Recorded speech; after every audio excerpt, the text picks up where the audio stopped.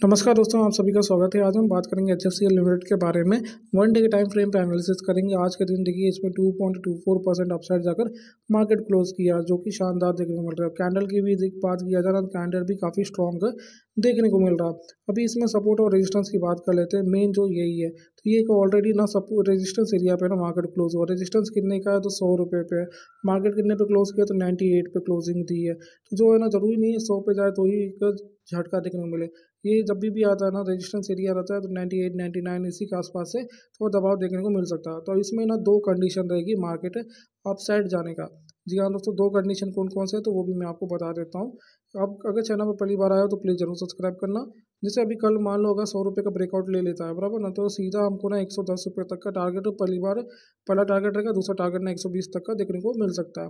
क्योंकि इस वक्त मार्केट सभी ने एक तरफ़ से ऑल टाइम हाई और बहुत ही स्ट्रॉन्ग देखने को मिल रहा है। अगर बाई चांस अगर यहाँ पे थोड़ा सा एक दबाव देखने को मिलती है तो हमको दोबारा नब्बे रुपये का लेवल नहीं देखने को मिलेगा।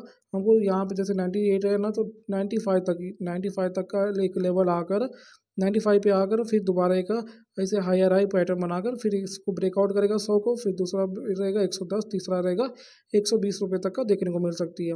और ऐसे ही मार्केट हमेशा देखने को मिलती है। और यहाँ नीचे से बात करते हो नीचे से देखो एक हायर हाई पैटर्न बनाने का प्रयास कर रहा था। एक रजिस्टेंस ये एरिया यही सौ का।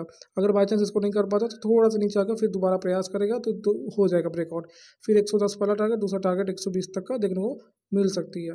बाई साल का कोई रिकमेंडेशन नहीं है। चैनल पर लिए पढ़ा है तो प्लीज़ ज़रूर सब्सक्राइब करना। जय हिंद।